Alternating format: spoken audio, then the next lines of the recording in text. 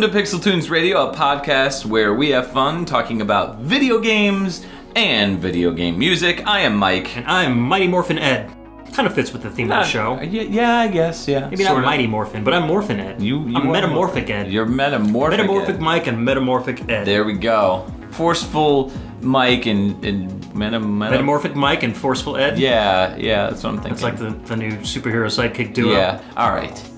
Let's get back to business. Absolutely. We're already off track. We just started. I know, it's- this is just terrible. Can't control it. I'm just a mess. So we promised last episode that we were going to do two awesome games this episode. We talked about it a little bit and felt that these games probably deserve their own episodes. That's So right. what we're gonna do is uh, take these two awesome arcade games that we wanted to bring you guys and kind of split it into two smaller episodes and we're going to release them on consecutive weeks instead of every other week so Right. we're doing it like kill bill style Word. so we're going to start off, if you haven't guessed by now, with Metamorphic Force, which was a Konami arcade game released in 1993. It is actually one of the last side-scrolling beat 'em ups to appear in the arcades from Konami. So sad. Yeah, I used to have so much fun playing like X-Men and Turtles, Ninja Yeah, Turtles. definitely my favorite genre. Yeah, absolutely. Um, you know, Capcom and Konami really had it down when they came to beat 'em ups in the arcade. Yeah. And uh, I, I don't know. I don't think I ever saw a Metamorphic Force I've arcade never seen one. cabinet myself. no. Um, you know, we definitely found out about this game through emulation, and I would pay anything to go play the real thing. oh, absolutely. It's so good. Yeah, I'd pay exactly ten dollars in quarters. You probably wouldn't end up paying about ten dollars in quarters. Yeah, exactly ten dollars. Exactly. Yes, exactly. I would like to see that. Yeah. I would like to just let let you beat that on your 40th quarter. That is what's gonna happen. that is happening. We are gonna track down We're gonna have to- Metamorphic Force. Crisscross the country. If, uh, if any of our listeners hear us, hear our plea, we want to play Metamorphic Force. Tell us where we can play it. And if you say some, At least in the Northeast U.S. Yeah. That would be probably beneficial. if you well, if you say like some dude's creepy basement, I'm gonna be like, nah, I'm yeah. Come here, kids. I've got Metamorphic Force for you. You let them play this game in my basement. Here, sit in this chair that's electrified. I mean, special. Wow. Horrifying. so that track that brought us in was called AD 1990X, and that basically is a song that plays during the intro cinematic to the game, or the attract screen as they call it in the arcades. Basically tells you a little bit of the story of the game. The dialogue goes after many years of peace and quiet, the evil king, ruler of the Empire of Horror, which, I mean, I don't even know.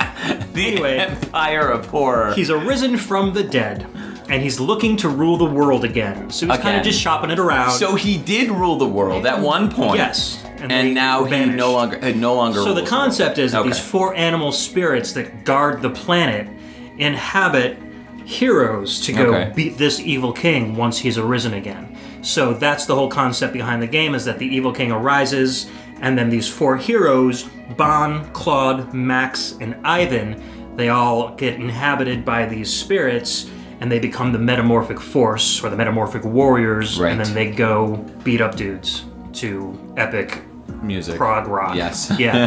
the the really funny thing that I like about this is that they all have 80s haircuts. Oh yeah. Yeah. Yeah. I mean, it's a '93 game, but they definitely were a little bit behind the times in Yeah. terms of music And hair. and and and fashion. Yeah, totally. I think they're all from like different parts of the world too, because like Ivan is very Russian-ish. Yes. He turns Ivan- into a bear. It's literally Ivan the bear. Yeah. So we'll get into the, the characters now, Yes. I guess. Um, so you play as Bon, who's a martial artist, and he's Chinese, and his guardian soul is a fighting bull, so he turns into a minotaur. Next up is Claude, who's a swordsman who wields a saber, and he turns into a white werewolf when he powers up. There's Max, who's a boxer, and he turns into a black werepanther. Werepanther. Werepanther. Okay then. And then Ivan, who we just talked about, he's a hunter and wrestler. Uh, he fights using a big log, because, you know, what else do Russians fight with? Listen, as soon as I saw this dude, I was like, that's my character. And then when I saw he turn into a bear, I was like, oh my god, this is my favorite character. Who is ever. fighting? A bear is fighting. Yeah. How can that be? How can that be? And it's actually a werebear, just so you know. No, he's he's a bear.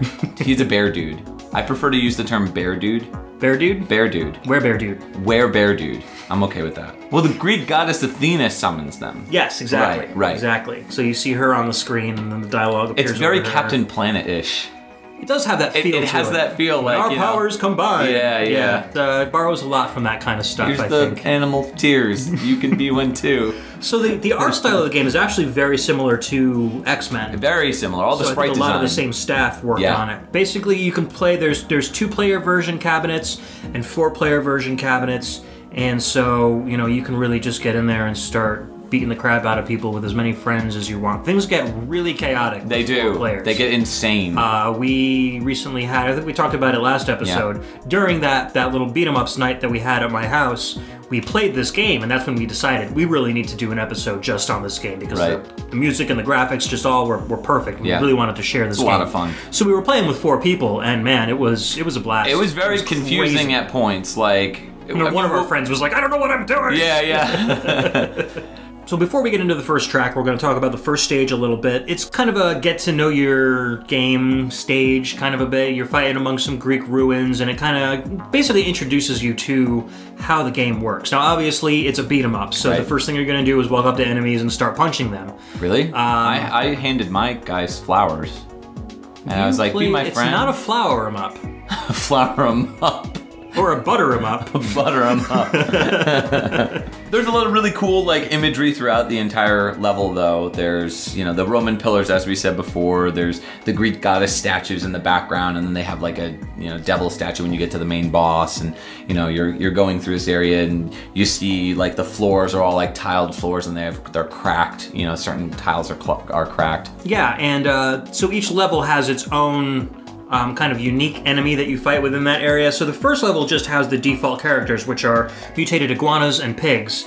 And uh, the pigs are kind of a little beefier, and they fight with some some weapons sometimes. And the Wouldn't iguanas are basically your generic 2P kind of guys from, Wouldn't- from Final Fight. you Wouldn't know? they be more hammier, not beefy? Yeah, you're right. Yeah. You can't hardly have a. I guess. Uh, I guess Bon would be the beefy one. Yes, he's yes. the bull. So, anyways, as you're fighting as these normal people, you can get these gold statues, and the gold statues are what turn you into your Minotaur form. It's very much like Altered Beast, where you just kind of see a transformation sequence, and then all of a sudden your powers are increased. You look like an animal, uh, and then you can basically kick even more crap out of the bad guys. Yeah, this is definitely X Men, the arcade game meets Altered, Altered Beast. Beast. Yeah, Very much Totally so. agree with you there. Yeah. I just wish this game had the like that dual screen. Oh. You know, the X Men had. Oh my. You can only play this on one monitor, That's but it would have been really good because it's a really gorgeous game. Yes. So, anyways, uh, let's get into the first track, which is called "The Ruins of Bakyarous," and this is for the first stage. And when we come back, we'll talk a little bit about the music.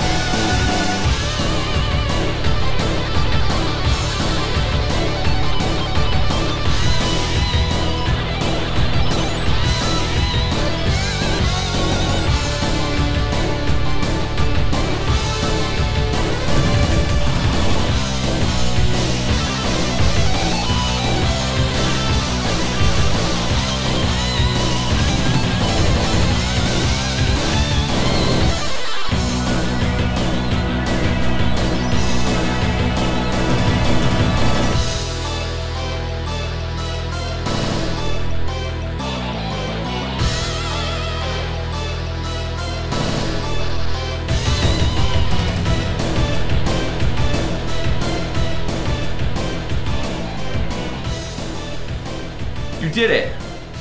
You've accomplished the first stage. Yes. So we didn't talk about the boss of the stage, which is actually kind of funny because he's a goat, Yes. and uh, so A dude goat. Yes, and he A goat dude? So very similar to the X Men game. Uh, the bosses kind of shout something at you every time you get to them, and uh, so this guy goes, "I'll never let you step in this area." And then he immediately steps out of the area and lets you step into the area he's in. He's on like this little. All the bosses come out of uh, like a little pentagram kind of symbol on the Yeah, ground. yeah. And uh, so he's like, okay, so you think he's going to put like this force field up around this pentagram thing.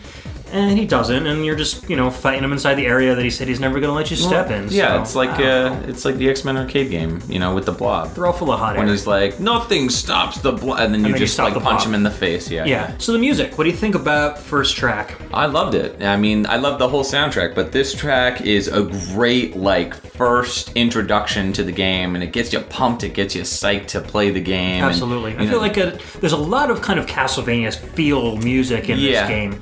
And uh, so I think it starts off, it has like a real kind of a, a Rondo of Blood kind of feel to Yeah. it. And then uh, just really gets into this just awesome rock song. Yeah, it's uh, it's got a really great sound to it. The guitars are really sharp and the drums snap really well. Like the snare drums, I almost thought that this was an actual kit that they were playing on. Yeah, but- this is all on the Konami Mystic Warriors hardware, Right. Which used two basically really powerful sampling chips for the music. Which uh, I think we talked about it when we did the Gradius arcade music on the first uh, same, song, different, system, episode, Right, right. where it samples at like 48 kilohertz. So it's actually higher than CD quality that these samples can be can be recorded. That's at. crazy. So that's why all of these instruments sound really, really good. And you're Right. going to notice in a lot of these songs, they have really epic guitar solos. And they're all entirely sequenced. None of it was recorded. Mm-hmm. Right, right. So, you know, you're hearing both the talent and the programming of the music and the high quality samples. It just combines to make a really, really good soundtrack. Yeah. I feel like we should probably start talking a little bit about the composers as well. We'll, Yeah. we'll talk about the first guy, Mutsuhiko Izumi. He's got quite a few games to his name. He actually started off doing a composition for Snatcher in uh, 1998 and then worked on Crime Fighters in 1989. Crime Fighters is actually in the same series as the game we're going to review next episode, but we'll save that title until the end of the episode. Oh, snap. He worked on Metal Gear Solid 2 in 1990. Then, after Metamorphic Force in 93, went on to do Crypt Killer. He did some uh, lyrics for Beatmania Append Gotta Mix, Rumble Roses in 2004, and then wrote some new tracks for Beatmania 2 DX 14 Gold in 2008. So, a lot of these games that he's worked on are well known for their pretty decent soundtracks. Yeah, he's done other stuff as well. Like uh, he's been mentioned in other games. He doesn't necessarily have a specific role. Uh, like in Sexy per- Parodius, uh, he was labeled as the original AC staff. Well, AC is usually arcade, so he probably worked on that game in some capacity. Right, and then for Martial Champion in '93, which was the same year that Metamorphic Force was released, he was known as Special Staff. Yeah, Martial Champion uses the same audio hardware, so maybe he lended some support in terms of programming and stuff, but not Possibly. actually wrote the, the soundtrack for it. So after you beat the first level and you beat the boss, what what's what does it say across the screen? You've done it. Yeah, it says across you've done the it. Like what have I done? Um, basically, what, have I done? once you beat a boss, a whole bunch of treasure chests just kind of drop out of nowhere, and you've got a limited amount of time to pick up as many power ups as you possibly can. The crappy thing about this game is that your energy depletes over time, whether you're getting hit by enemies or not. So Yeah. you start off at like 99, and then like every two or three seconds, your health drops by a point. So even if you're just if you're doing really well, you have to keep picking up health power ups in order to keep yourself alive. Also, when you metamorph into a beast, your power meter drains for that too, and there's no way to replenish that. If you Right. get another golden statue while you're a metamorph, you basically zip around the screen. It's kind of like an extra special move, but it doesn't replenish your power meter. yeah, it's kind of like Nightcrawler's move in X Men in the arcade game. Very similar to that. yeah, it's very similar. Uh, so it does kind of give you, you know, an incentive to keep pumping in quarters because no matter what you do, you're eventually going to end up running out of energy. I think that's one of the big draws of these games is the great graphics and, and strong music and everything. Even though the music was, as we said in the previous episode about arcade games, it, the music is so good, but you, you never get the chance to hear it because you're in an, ar- an arcade Exactly, environment. exactly. And when, then when you sit down and with your friends, you know, nowadays and play these games on like, you know, computers like desktop hard drives or whatever you're you're putting the games onto MAME arcade cabinets and whatnot.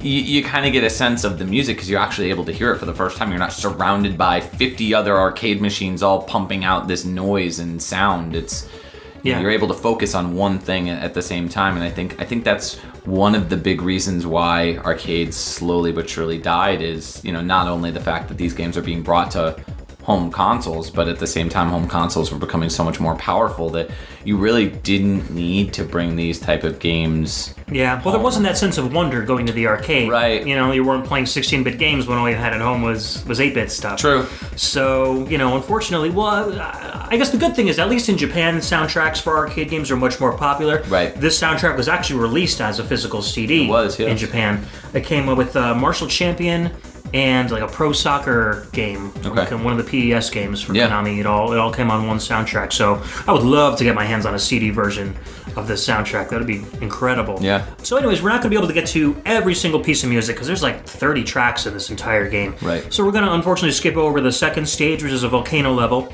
The unique enemy that you fight there is a hedgehog creature man. I thought that was kind of neat. Yeah. Kind of like you know Sonic, but I, I gross. best known as Sarnik the Hedgehog. Sonic the Hedgehog. Yeah. beat a big flamey bird boss, and then you move on to stage three, which goes from a volcano level into winter frozen wonderland. So for some reason, the unique enemy that you fight in the winter stage is an elephant. That makes sense. You'd think it would be like a penguin, total sense. polar bear, No, penguins aren't vicious. I mean, they can look vicious, but they don't. but elephants aren't vicious either. Elephants. Neither are hedgehogs. I think an I think an elephant would kill you uh, sooner than a penguin Well, would. yeah, but they don't really evoke that sense of fear that They have giant horns on their face. I guess. So there's a giant boss at the end of this stage, which kind of looks like Megatron a little bit. You look like Megatron. I try, thanks. Yeah. Did my hair different this morning. Ah, okay. and uh, he's he's kind of a jerk, and he will fly around, beat the crap out of you. Yeah. And uh, then he blows into pieces at the end. And uh, the thing I like about the stage is that the, the ice under your feet is reflective, so you can see a reflection of your character as you're as you're playing through the stage. that is cool. Also, midway literally through the stage, cool. It is very, very cool. Midway through the stage, a, a giant version of the boss will come up in the background and start spitting bugs at you for some non-particular reason. It's kind of like in X Men Arcade, the the level where the little the boss, the mini boss, because there's always in these games mini bosses that come up and start spitting stuff Yeah, at yeah. you, and you know these little project. I don't want to call them projectiles, but they're more like tiny annoying enemies. I mean, Konami's Nuisances. been yes, Konami's been doing this for years with all the bunch of various different arcade games. You know, Ninja Turtles had it. This stupid things that are really hard to hit. Yeah, and only yeah. take like one hit to go down, like Right. the Mousers. yeah. You know, Yep. terrible. I agree. I concur. So let's get into the music. This is Freezing Ground, Stage Three, from Metamorphic Force.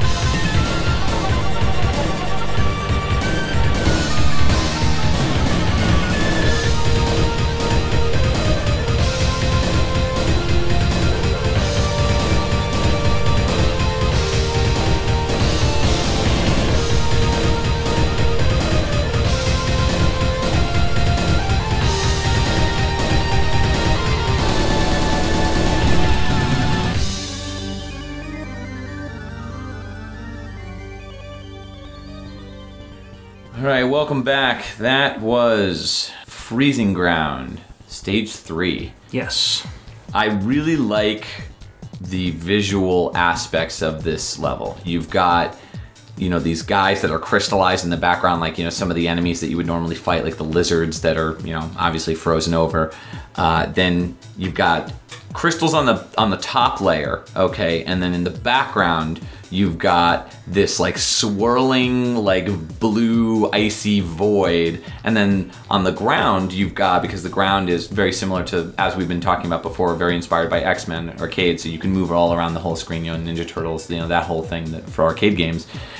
You've got a reflection in the ice of your sprite which i just thought is the coolest thing. Like the visuals in this game are intense Everything was built to look amazing. oh yeah And uh, it's I think it's one of those games where like it was built so if you weren't playing it and you were just walking by and watching a demo, you'd be like, "This looks like a cartoon." I need Yeah. to actually play this game. yeah you that's know, very that true kind of deal. it totally looks like And it's funny, even though this is a, a freezing level stage, the music doesn't really evoke that kind of like winter music. It's got really intense drums, yeah and there's really, really rocking flutes with electric guitars in the background. Oh my god, those flutes. They sound exactly like real flutes. It's Yeah, crazy. yeah. It's really it's it's it's really good stuff. It's not like we're talking like Jethro Tull style, like, you know, rocking out solos. So I really like this track a lot. It's uh, probably one of my favorites. Yeah, there's one other composer credited for this game. He didn't do as much as uh, Mutsuhiko Izumi did. Uh, his name is Mariko Egawa, and he was credited for music edit on Metamorphic Force. He was also listed as a composer for Castlevania 64, believe it or not. So Yeah. that's where a lot of that Castlevania feel comes from, even though that came six years later. Um, he was also uh, a work he was also uh, involved in the art and graphics departments for Fire Emblem Radiant Dawn and Lost Odyssey, and then most recently worked on Yakuza 4 as a designer in 2011. So he's had some work in and about different areas of the industry besides just music. It's interesting that he composed the music for Castlevania 64 because that soundtrack is a lot more ambient than anything. Yeah, I mean, there are some moments that are very bombastic, very like loud sounding, but for the most part, it's not your standard Castlevania soundtrack in most cases. Oh yeah, and it's certainly nothing like Metamorphic Force. Right, absolutely, So maybe yeah. he was just kind of responsible for a lot of those more, like I said, you know, more Castlevania sounding kind Yeah. of stuff. I think the organs really help throughout the game. So yeah, I was really feeling that track. So then the next track that we're gonna listen to is from level four of this game, but it is not the beginning. So this level is actually probably one of the longer levels of the game. Yeah, it's got two distinct parts to it. Right. And so the first part is very, for the music at least, it's very fusion esque. Yes. Very jazz fusion mixed with very orchestral elements. Really. Doesn't kind of fit a beat 'em up that much. No, no. I mean, it's it's kind of like this weird swirling kind of, you know, something's gonna happen, what's Yeah. gonna happen sort of sound to it. First part of the level, you come out of the cave from the uh, previous ice world, and you're all of a sudden in a, like a really beautiful lush forest. Hey and- guys. yeah, and so you start fighting enemies as usual. Uh, Frogs. frogs, Frogs in this level, along Yeah. with some um, anthropomorphic trees. Yes. Which is fun. Everybody is likes fun. fighting trees. Oh yeah, you know it. That's what I do in my off time. Just go around and punch the forest. Punch, punch the tree in the face. Take that tree. It's like, you know, Wizard of Oz. Yeah, you How'd you know. like it if somebody came along and grabbed an apple off of you? So you go over a cliff, and that's when this level's music starts. When the fourth stage, part two. I really think that this track is pretty awesome. yes. Yeah. Yes. I'm feeling it. Once you fight your way to this kind of like waterfall thing, you fall off this cliff, and it takes about like 30 seconds to fall down the entire cliff. And you wind up in front of this kind of a skull monster face on the side of the, the, the ground of the rock face. And it opens up. And, you know, I always think, even though I know what's going to happen, I always think that you have to walk into this cave, even though it's on the left side of the screen. So I go towards the cave, and a bunch of rocks fly out, and inevitably just knock me over and probably kill me at that point because it's like midway through the stage and my health is almost gone. Mom, I need more quarters. Yeah, exactly. So a couple pigs come out, you fight through them, and then you continue to the right, away from the cave that just mm-hmm. opened. And so that's when this awesome rock music starts to play.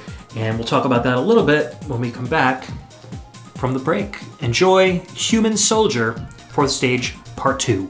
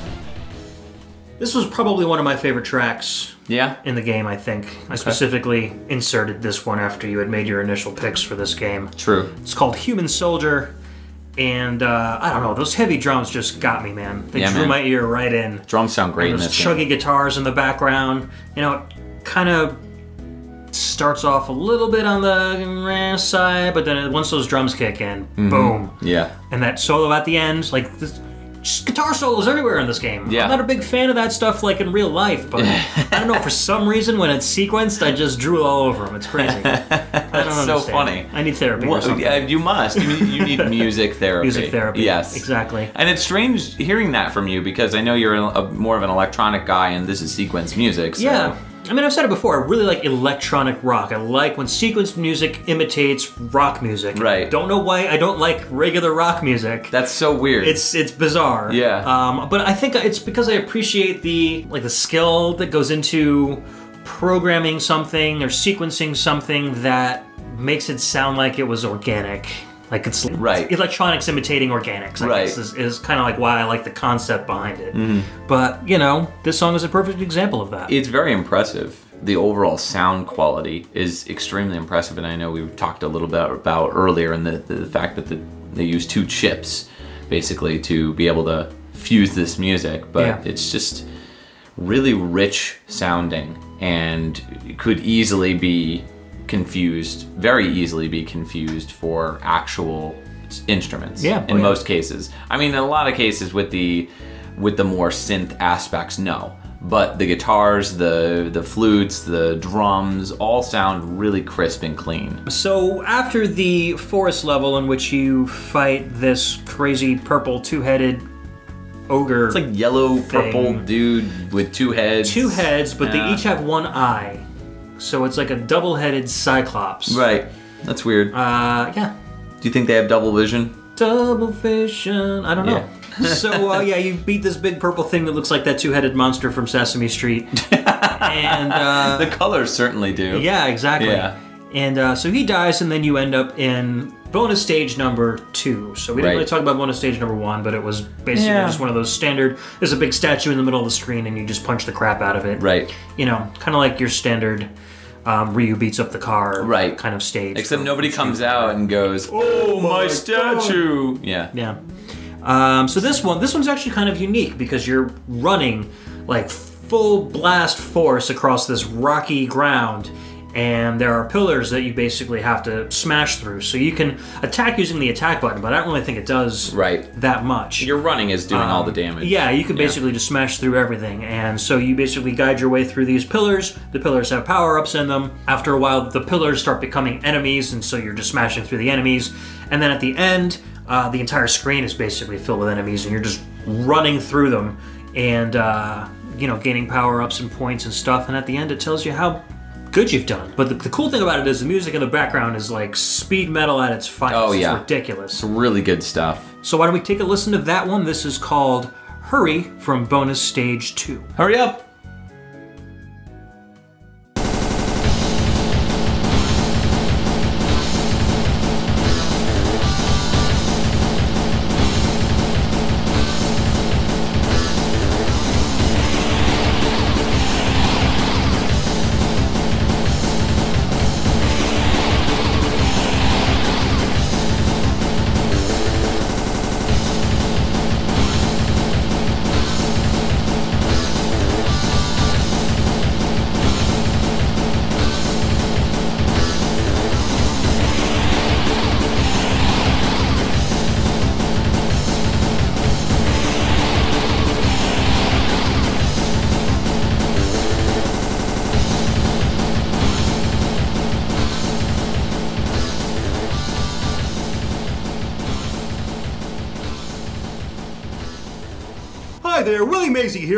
Forcemo Industries, bringing you the latest in animal magnitude power sense. I'm here with Pritchard. Um, that's Richard. Shut up, Pritchard.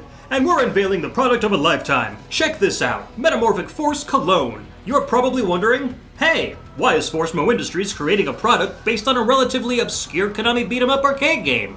That's exactly what I'm wondering. Shut up, Pritchard! Well, I'll tell you all about the industry changing serum that women are raving about. Metamorphic Force turns your man into an animal. Literally. Just one spray on the face.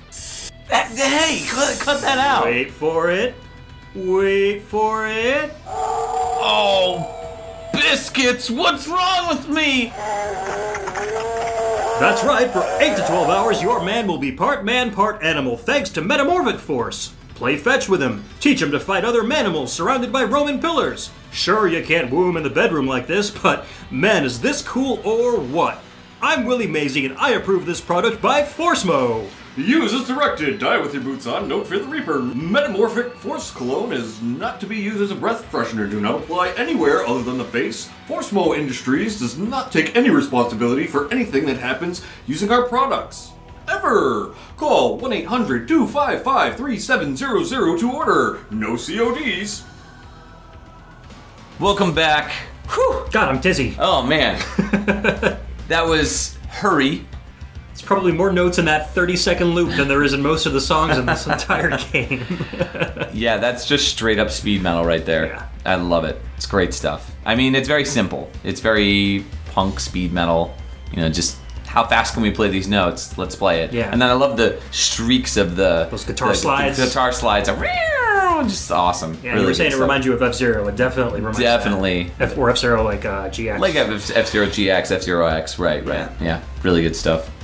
Yeah, no, I dig it. So, I mean, we talked about the stage already, so. Yeah, obviously the song's not that long because the Yeah. bonus stage isn't that long. Yeah. So after you beat bonus stage two, you find yourself in a coliseum. Yes. And it's got a cool little scaling rotation effect. The stage is very small because it's actually kind of a boss rush mode. Right. As you move back and forth, the walls of the coliseum kind of rotate. They kind of shift when you almost move. like you're yeah almost like it's like google maps or something like that so it gives kind of a, an, an impression that you're in a circular arena That's what they were going for. you know Google Maps. google maps that was Yeah. i'm sure what they said In when they were- '93. yes Yeah.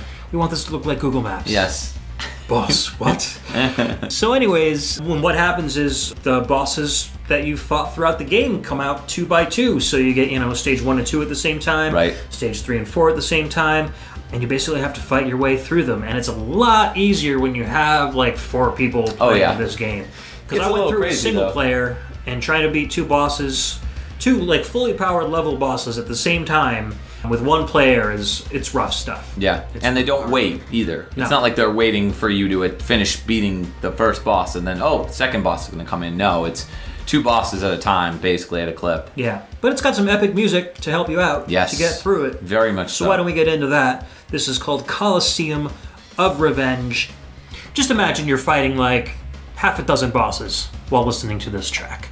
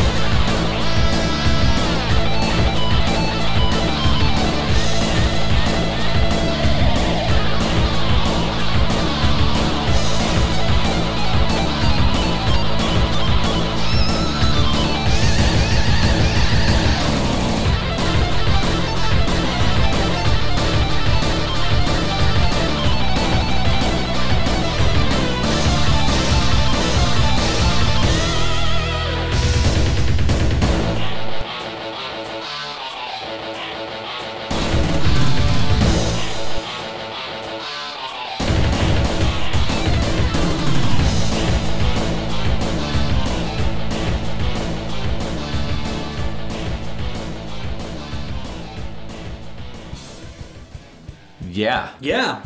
So after taking down those bosses, what happens is the fifth boss shows up, and so it's this purple-esque. You know those she-devil pinup girls? Those those that Yeah. art that you see. She looks a lot like that. I think. Yeah, very, you know, Amazonish, busty. In like an aerobic bathing suit. Yeah, like a weird blue. Blonde hair. Yeah, just very weird. And she's got this very high pitched voice, you know, kind of higher pitched female voice.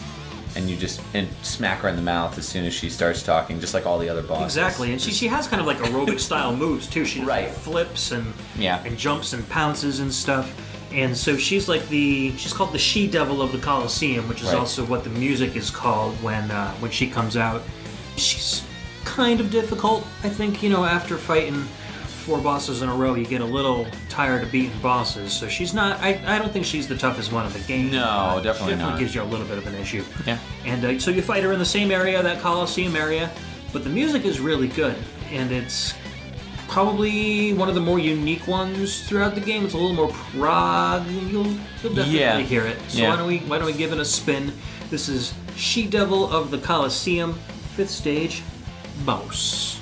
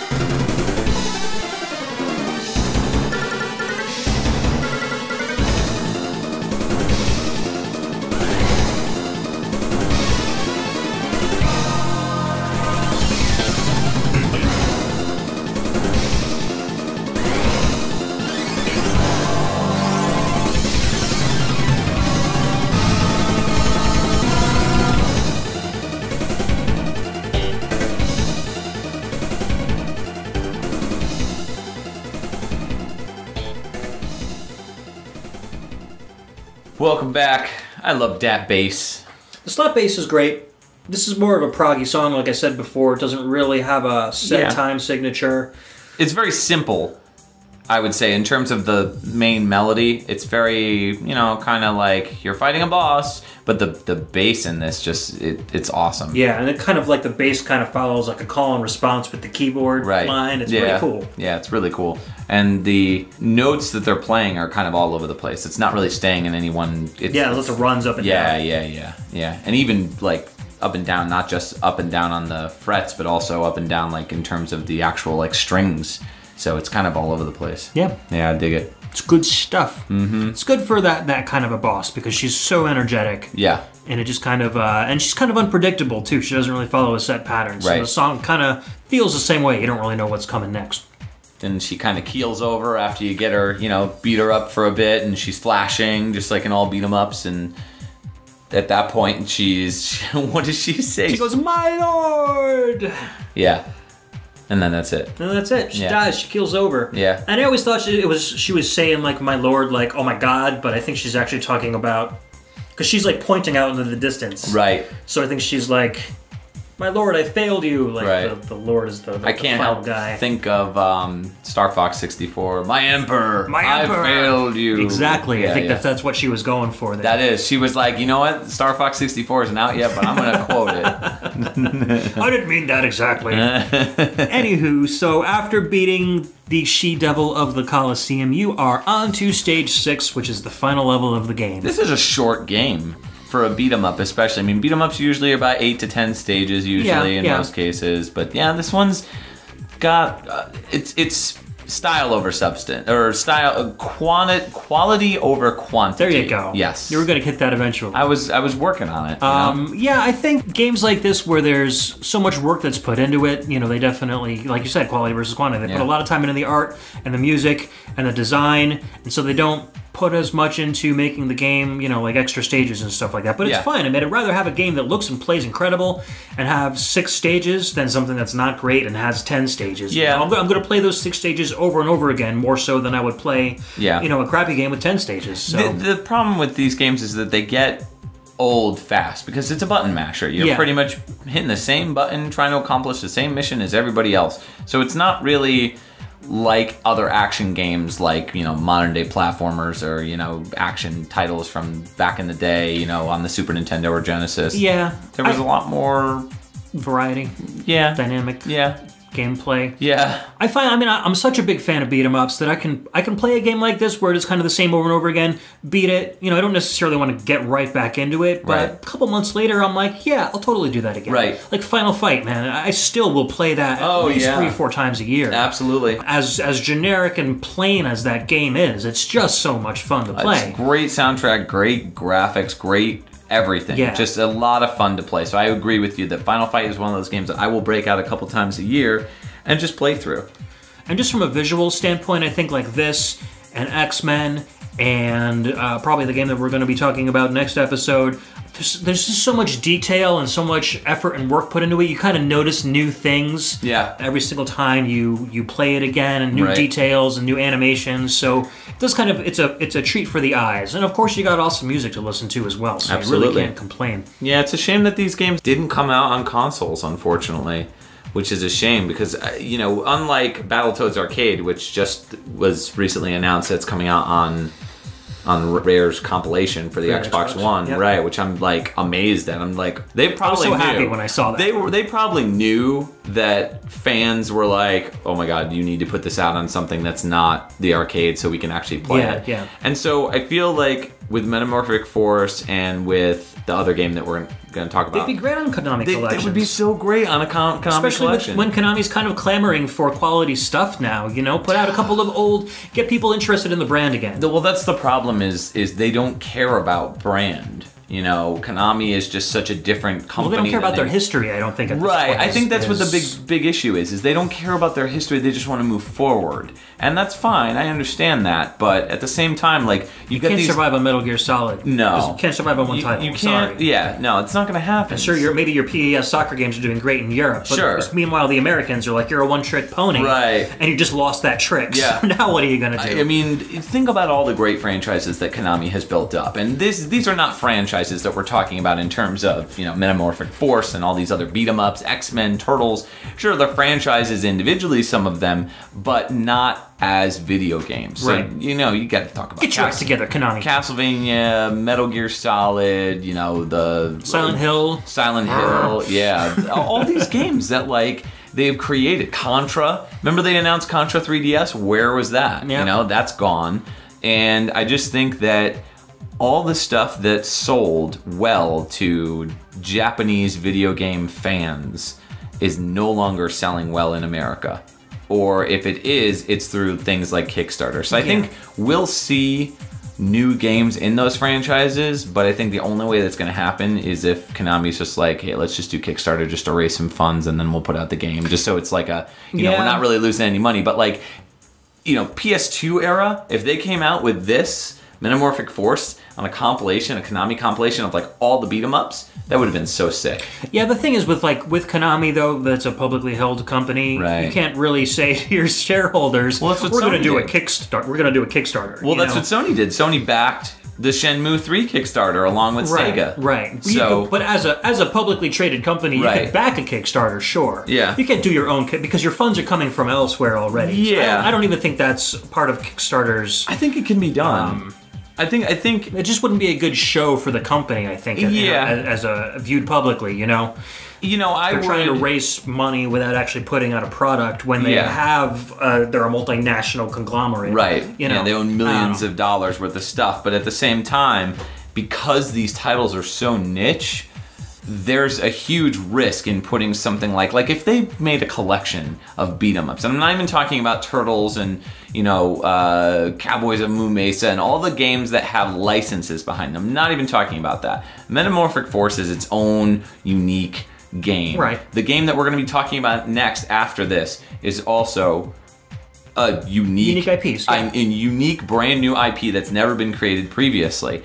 Those games, if they stuck them on a console collection or something like that, it just wouldn't sell nowadays. Yeah. PS2 era, absolutely, it would have sold like hotcakes because back then, that was uh, compilations were all the rage back then. Yeah, there also needs to be some sort of a refreshment of interest in the brand. Like, Yeah. for instance, Yooka-Laylee Yeah. with Rare, and all of a sudden people are now interested in Rare games, and it's it's becoming a trendy thing. Right. So now Rare decides, hey, we can come out, we can ride this wave, Yeah. And release these games, and then people will be interested. in it. Right. You know, especially with you know uh, Microsoft bosses coming out wearing Battletoad shirts Awesome. during their and, and putting Battletoads in. Shovel Knight. You Yeah. know, they kind of planted those seeds Right. for Rare to come back. People start talking, and then boom, and now GameStop is, is even getting in on it because of that meme where people always ask Yeah. GameStop if they have Battletoads. Now they're putting ads out saying, "Yes, we finally have Battletoads." It's true. so you know they they've got that, but Konami doesn't have that Right. that that kind of internet presence at this point. Yeah. It's, it's all negative at this point. So Yeah. they really need to do something to turn themselves around in the public eye. But Yeah. we're getting way off track here. It's always good, good discussion though because we're talking about a Konami beat 'em up. We're talking about Konami as a as a Yeah, company. yeah, agreed. So so Stage Six is broken up into two parts. You've got part one, which is the track that we're going to be playing through, and part two, which is right before you get to the final boss of the game. Correct. Stage six, part one is just awesome. You've got this incredible noodly guitar experience, which we'll talk about in a minute. But the stage itself is really very gorgeous, very castle-ish. Stained glass. Right, and, right. And just statues and, and faces carved into Yep. stone. Lots of really, really cool stuff in this Yeah. level. It's it's kind of a treat to get to once you finally see it. You get to the part where you are at an elevator right before part two, and you you're facing off against this like skeleton dude. He Kind of looks like Skeletor a little bit. I would say Skeletor, or uh, better yet, Spinal from Oh, yeah. Killer Yeah, I can see that. Yep. Very Killer Instinct-ish. And so you fight him, you de- defeat him, and then you're rising up in this you know elevator because you know as we said, time and time again, all beat 'em ups have to have an elevator Yeah, level. it's like a platform held by strings, but behind you is this gorgeous stained glass Right, right. image of uh, is it Athena? I think that's in the stained glass. I'm, Yeah. I'm pretty sure it's her, yeah, and it's, really just cool. really really pretty. yeah. No, it's great. So um, yeah, we're gonna listen to the Warrior of Death Shadow Castle, which is stage six, part one.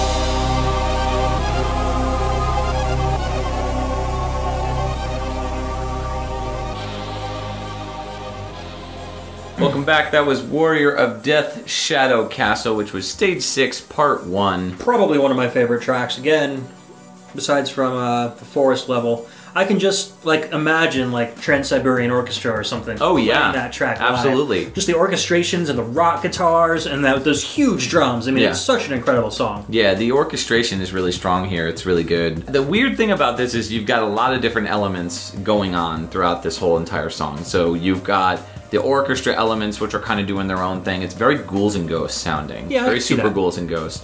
And then you've got these random guitar licks that'll just come in out of nowhere. I- yeah, yeah, just uh, randomly out of nowhere. It- I mean, it sounds great. It's cool, but that that is probably the best band that I could see covering a song like this. Yeah, yeah, Yeah. because they have everything all set up Yeah. for that, and they've even got um like the that brass section, like Yeah. da, da, da, da, and then there's the flute that comes in after that. It's like it's absolutely crazy. Yeah. These guys should not be composing for video games. No, They should be, right? like I don't even know. Yeah. out on tour somewhere.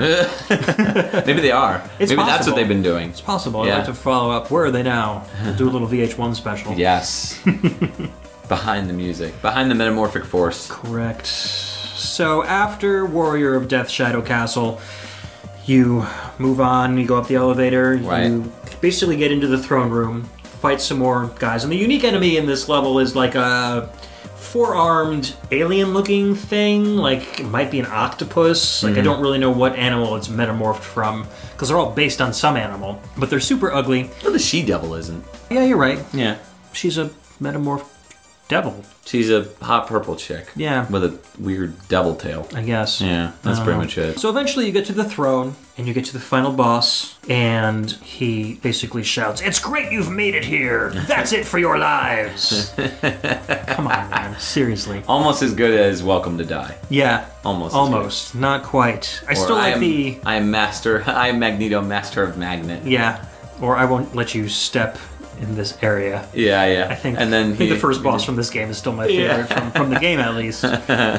so you end up fighting Death Shadow, and he looks like a kind of a big beefy Simon Belmont. Yeah. A bit. Yeah, very like He's got the same kind of armor. long beard, yeah, armor. Uh, I was gonna say more Thorish. It the whole game has like that if Greek Thor Roman borrowed Simon's clothes. Yeah, yeah, yeah, exactly. yeah, guess it's got to go with the Castlevania music. You got Yeah. a Castlevania villain. So he'll he'll fight and uh, as the villain. yeah, he'll fight and he'll taunt you throughout the game or throughout the battle. He's kind of a jerk. He'll be like, "You're a dead man.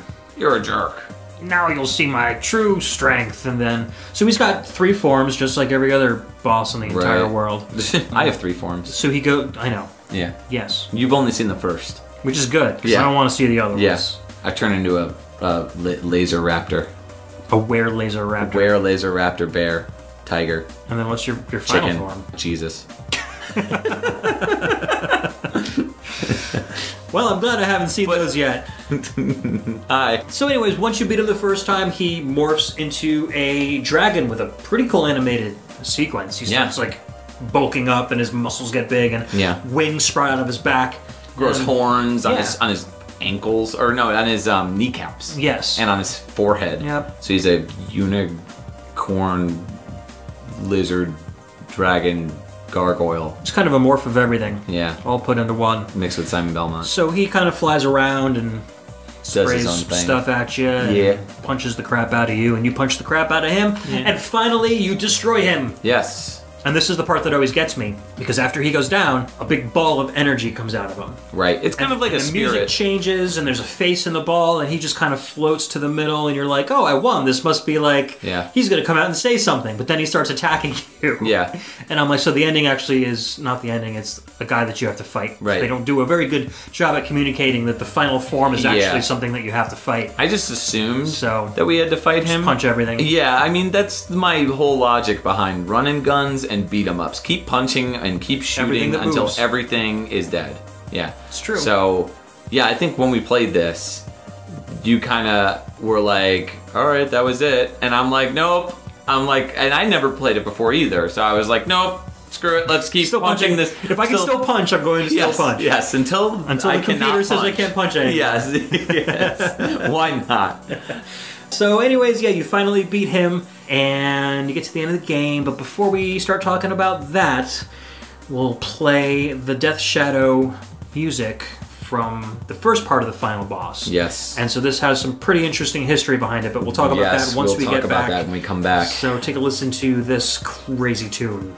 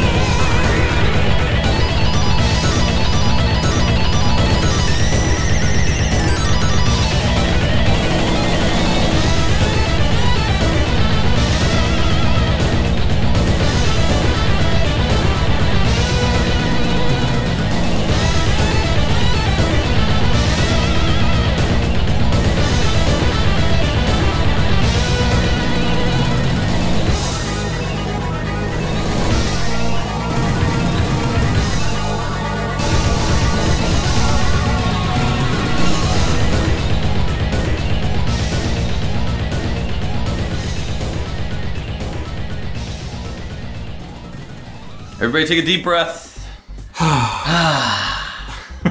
That's the end of the game. But let's talk about that track. Oh my god. What an amazing song. Seriously crazy. Yes. So good. And for those of you who are sitting here going, hmm, I've heard this before, kudos to you.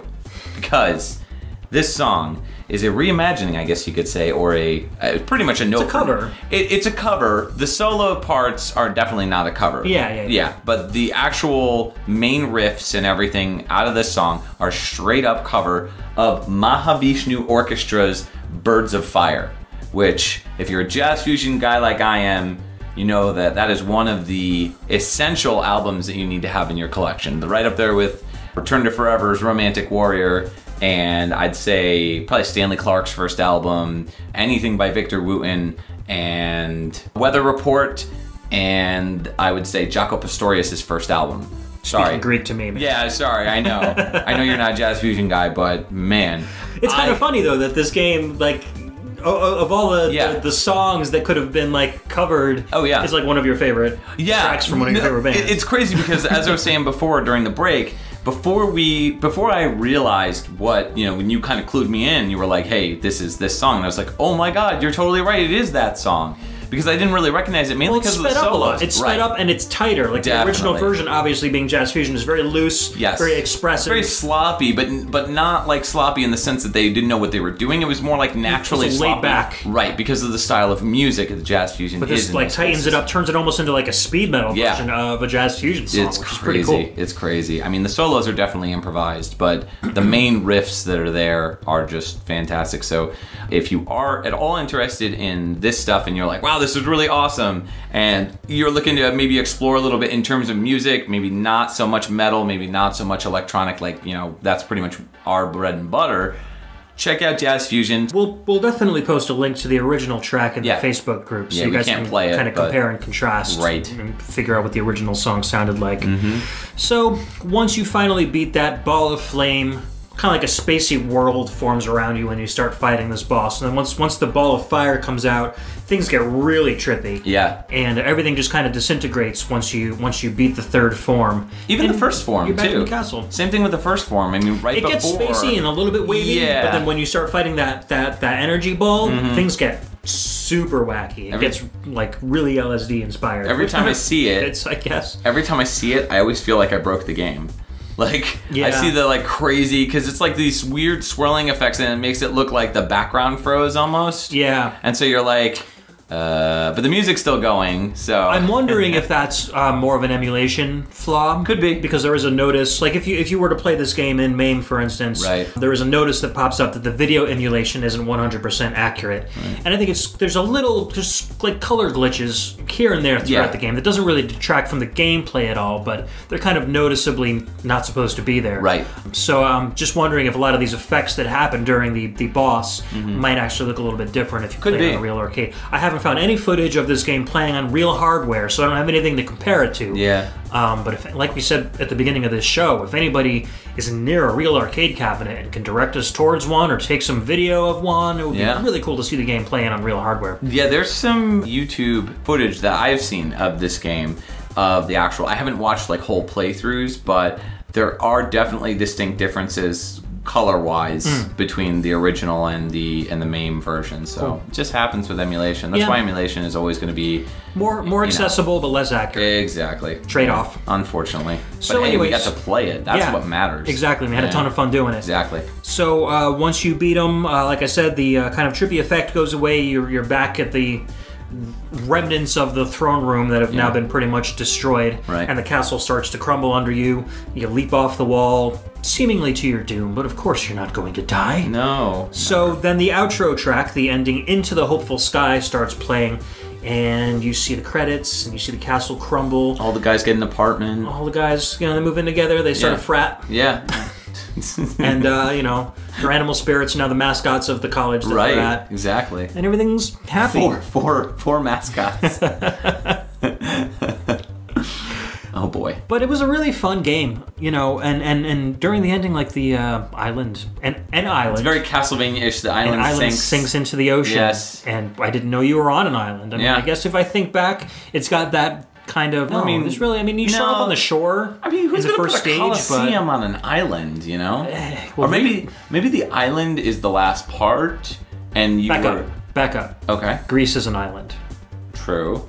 So does that mean that they just sang Greece? No, but I'm saying the Colosseum is in Greece, or the Colosseum's in Italy. Right, but I, I mean, there like, are like Parthenons and, and everything like that Right. in Greece. So. Yeah, but I mean, like, it just kind of seems like the island was a lot smaller in terms of the visuals, like when you're looking at it in the game. At the Yeah, yeah, yeah, yeah. Well, it's just kinda like, a big mountain Yeah. on nothing. But obviously, you were fighting through like outdoor levels and Yeah. stuff. So I don't know. Whatever. It's the same thing with Contra. You know, Continuity beat, error. You beat Contra, same thing. You know, island sinks into the sea or whatever. Yeah, and Bionic Commando. yeah, sure. Just a giant base at the end Yeah. that blows up. It's almost every game Yeah. except for Final Fight. It's just a good way to represent that everything that you just went through is now gone. Man, wouldn't that be terrible if at the end of Final Fight the whole Everything building crumbles? the building crumbles. That would not be very good in a post 9/11 environment. No, well, the building was in the middle of a city, so yeah, that would kind of suck. Yeah, that'd be pretty terrible. Yeah. Yeah. Oh well. No, instead we just knock up a poor handicapped guy out the window. Oh well. Yeah, yeah. Screw that guy. So he was firing. What are they called? Hey, he had his hands all over Haggar's daughter. That's true. Yes. Very true. Yes. And those those those hand those those those yams are only meant for for Cody. Cody. Thank you. Yes. Yes. And jealous guy. Yeah.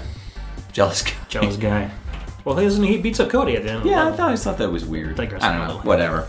So, anyways, then the credits run, and And the uh, and the story at the end, uh, the credits kind of leave it open for a sequel. Yeah, but you can barely read them. They scroll so fast. It's just like, and then they all, and then the next. Yeah, part. there's a lot of there's, There's a lot of text on the screen, and it lasts. Go, it goes pretty quickly. And it's very like bright blue, you On an know, orange like- background. Yeah, and an orange. It's like very hard to read.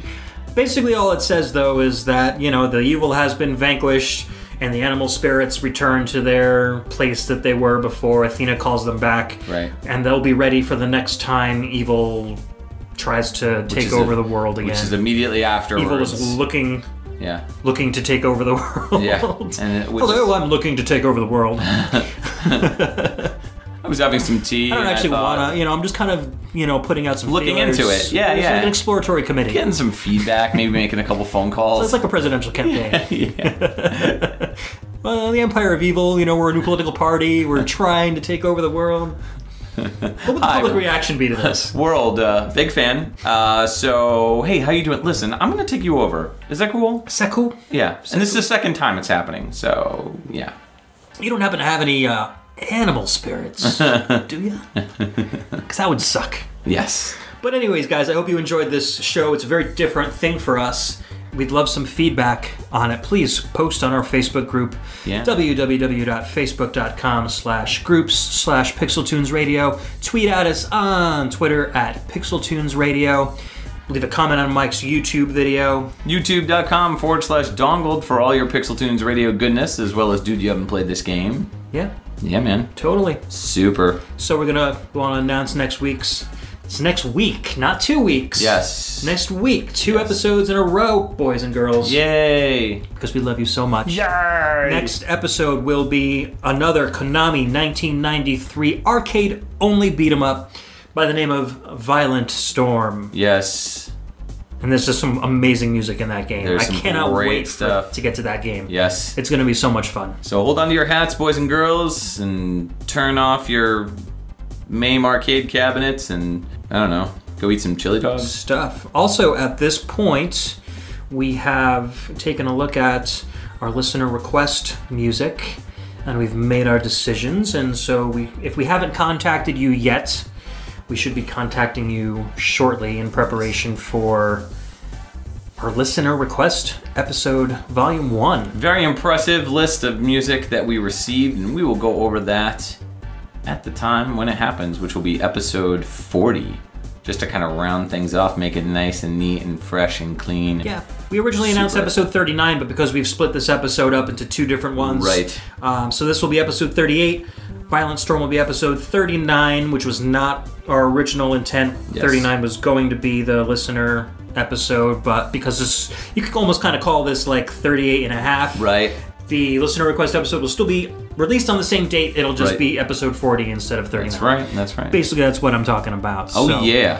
Looking forward to that as well. Keep in touch with us, please. As we've said, you know, Facebook, Twitter, Instagram. Find us on Pixel Tunes Radio everywhere. We love talking with you guys. iTunes ratings are always appreciated. And reviews. Yes, jump on iTunes, give us a rating if you can. That really helps with spreading the show. So if you like what you heard and you want to hear more and you want us to kind of get our names out there, that would really be appreciative because the more music that we can share with the most amount of people is really our goal here on Pixel Tunes Exactly. Radio. And if you're not a social media freak, you don't have Twitter, you don't have Facebook, you can always go to pixeltunesradio.com. That's our blog. It's got all of our shows on there, both an MP3 that you can download and a YouTube video that's embedded that you can watch, and you can leave comments underneath our under our episodes as well, even going as far back as episode one. If you've got a comment to make, leave it there, and we'll definitely see it, and we can respond to you. That's right. So go be animals, you you you wear werewolves and Force your metamorph yeah wait, into what? submission. Oh. All right then. That's- that's weird. Yeah. Yeah. That's what I do. All right, boys and girls, we'll see you in one week with Violent Storm. Yeah, yeah. Feel my power.